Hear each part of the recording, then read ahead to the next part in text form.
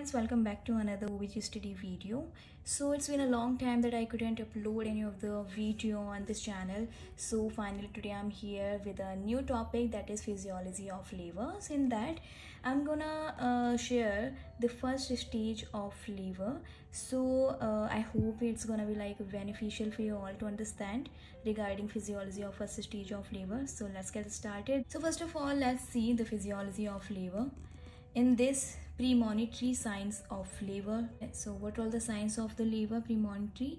First is descent of fetal head into pelvis. Okay this is the first sign here.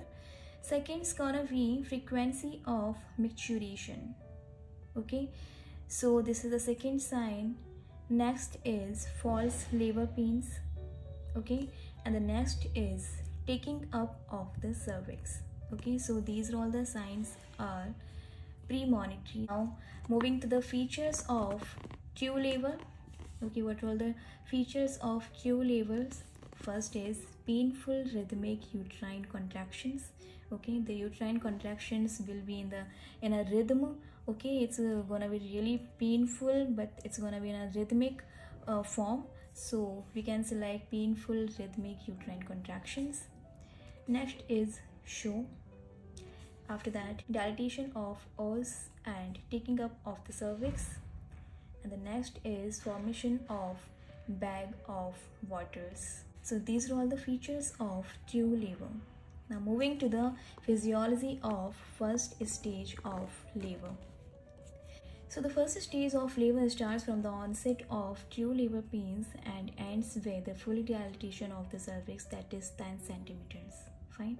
So here what the thing is the first stage of labor common with the onset of true labor pains and ends with the full dilatation of the cervix or also we can say that is 10 centimeters. Okay? So uh, these are some of the points like contraction and retractions of the uterus. Next is formation of upper and lower uterine segment. Next is development of retraction ring taking up of cervix dilatation of os show formation of bag of waters and next is rupture of membranes. Okay. Now the cervix is fully dilated so what are the signs we can see at the time of the fully dilatation of the cervix or os so first is size of the fully dilated os is about 10 centimeters. Vulva gapping.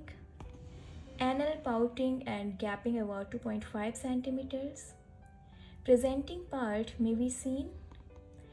Urgency to defecate or bearing down efforts.